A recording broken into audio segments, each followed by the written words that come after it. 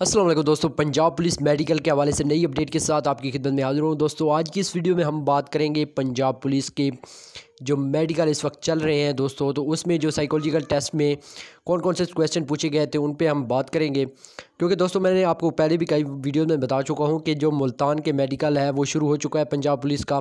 तो उसमें जो साइकोलॉजिकल टेस्ट में सवाल पूछे गए थे, वो सवाल मैं आज लेकर आपकी खिदमत में हाजिर हुआ हूँ। ये सवाल मैंने उन लड़कों से पूछे थे, जिनके टेस्ट हुए थे। क्योंकि ये टेस्ट जो साइकोलॉजिकल टेस्ट था, ये कुछ ही लड़कों का होना था, सभी का नहीं होना था। तो इसलिए जो साइकोलॉजिकल टेस्ट में उनसे क्वेश्चन पूछे गए थे, मैंने उन्हें कहा था कि आपने उनको नोट कर लेना है जैसे ही बाहर आना है, याद कर लेना है, आपने बाहर आकर मुझे बताना है। फिर मैंने, क्योंकि आप लोगों को बताना था तो इसलिए मैंने उनसे कहा हुआ था। तो दोस्तों वीडियो को एंड तक लाजमी देखना है, क्योंकि ये वीडियो आपके लिए बहुत ज़्यादा इन्फॉर्मेटिव होने वाली है। और चैनल को लाजमी सब्सक्राइब करने क्योंकि इस तरह की मजीद वीडियोस भी आपको मिलती रहेंगी। आपको नीचे एक रेड कलर का ऑप्शन मिल रहा होगा सब्सक्राइब का, उसको प्लीज़ प्रेस कर दीजिए। ताकि आपको तमाम तर जो मालूम है, पंजाब पुलिस के मेडिकल के हवाले से मिलती रहे। तो दोस्तों, बगैर वक्त ज़ाय किए चलते हैं अपने टॉपिक की तरफ़ तो हम बात करते हैं जो क्वेश्चन इस वक्त पूछे गए हैं। तो दोस्तों, सबसे पहले जो क्वेश्चन पूछा गया है, वो क्योंकि ये आपकी साइको चेक की जाती है सिक्योलॉजिकल टेस्ट में तो सबसे पहले सवाल पूछा गया है कि बेटी से ज़्यादा बेटी की खिदमत करनी चाहिए। तो यहाँ पर आपको दो क्वेश्चन जवाब मिलेंगे, यानी कि आंसर आपने दो का देना होता है मुतफिक या नामुतफिक तो यहाँ पर आपने एक आंसर देना है। तालीम के सिलसिले में बेटी से ज़्यादा बेटे पर खर्च करना चाहिए। तो ये क्वेश्चन था, इसका मुतफिक या नामुतफिक में जवाब देना था। उसके बाद है, मज़हब इस्लाम के लिए क्या है? यहाँ पर दो अलहदा ऑप्शन थे। यहाँ पर था कि एक जबता हयात है और ज़िंदगी और मौत है। उसके बाद पूछा गया था कि मजहबी तनजीमों को अपने दिफा के लिए असला रखना चाहिए। इस पर भी आपने बताना था कि मुतफिक या नामुतफिक किसी पड़ोसी मुल्क के उलमा की हर बात माननी चाहिए।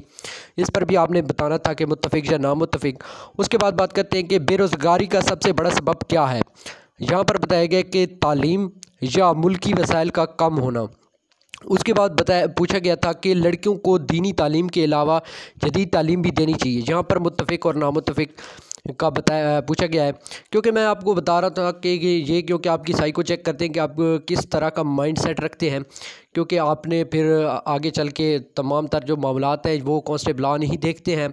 थाने के तो इसलिए ये आप चेक कर रहे हैं कि आपको साइको में आपका कोई प्रॉब्लम तो नहीं है, यानी कि आप कुछ ज़्यादा हाइपर तो नहीं हो जाते या इस तरह का माइंड सेट तो नहीं रखते। तो ये आपसे पूछा गया। उसके बाद पूछा गया है कि आपके फ़िरके के लोग सबसे ज़्यादा अच्छे हैं। यहाँ पर आपने मुतफ़िक या नामुतफ़िक का बताना रहा उसके बाद पूछा गया है कि आप मज़हब की बुनियाद पर किसी को कत्ल करना जायज़ है? उसके बाद एक क्वेश्चन पूछा गया कि ज़्यादा बहस करना दुरुस्त है या नहीं? उसके बाद पूछा गया कि क्या आप समझते हैं कि आप सबसे बेहतर सोचते हैं, सोच रखते हैं। इस पर भी मुतफ़िक और नामुतफ़िक का एक आपने जवाब देना था। उसके बाद आपसे पूछा जाता है कि क्या आपका ऑफिसर अगर किसी को गोली मारने के लिए कहे तो क्या आप क्या करेंगे? ये भी एक पूछा गया था। इस पर भी आपने मुतफ़िक या नामुतफ़िक का जवाब देना था। तो आपकी नज़र में तलबा कौन है? इस पर अमन पसंद या मुजाहिदीन? तो इस पर भी आपने अपनी राय देनी थी कि मुतफ़िक या नामुतफ़िक का आपने कोई एक क्वेश्चन आंसर जो है वो देना था उनको, जो कि साइको के डॉक्टर थे उनको। तो उसके बाद पूछा गया कि क्या दुनियावी तालीम माशरे की ख़राबी की असल वजह है? तो यहाँ पर मुतफ़ या नामुतफ़िक का आपने आंसर देना था। उसके बाद एक क्वेश्चन पूछा गया है कि क्या आप जो है अपने ऑफिसर से ज़्यादा बड़ी सोच रखते हैं, यानी कि उससे बेहतर सोच सकते हैं। इस तरह का एक क्वेश्चन पूछा था। उसके बाद पूछा गया था कि आपका भाई अगर गैर मुस्लिम हो जाए तो आप क्या करेंगे? उसे कत्ल करेंगे या कुछ नहीं करेंगे? तो ये भी पूछा गया है। उसके बाद एक क्वेश्चन पूछा गया था कि क्या आपका शुमार फ़िरकी के अहम लोगों में होता है? ये यहाँ पर असल में चेक कर रहे हैं कि आप फ़िरका वारियत की सोच तो नहीं रखते कि फिक फ़िकों में पड़े हुए हो या कोई इस तरह का जो सिस्टम होता है। आप सब दोस्त जानते हैं कि फ़िरका वारियत का जो बाज़ार इस वक्त गर्म है तो इसमें कहीं तो ये लड़के नहीं पड़े हुए क्योंकि आपने जो है वो मुनासिब रास्ता जो मियाना रवि जो है वो आपने इख्तियार करनी होती है। तो क्या आपका फ़िका सब फ़िरकों से ज़्यादा अच्छा है? ये भी एक क्वेश्चन पूछा गया था। इस साइकोलॉजिकल टेस्ट में।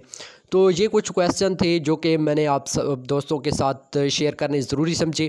अगर आपके जहन में कुछ भी डाउट है, किसी किस्म का भी डाउट है तो आपने क्या करना है कि आपने कमेंट्स में लाजमी बताना है। अगर कोई आपको सवाल होता है तो आपने लाजमी बताना है और मैं इंशाल्लाह ज़रूर आपको रिप्लाई करूँगा। तो दोस्तों, वीडियो अच्छी लगी हो तो चैनल को प्लीज़ सब्सक्राइब कीजिएगा। वालेकुम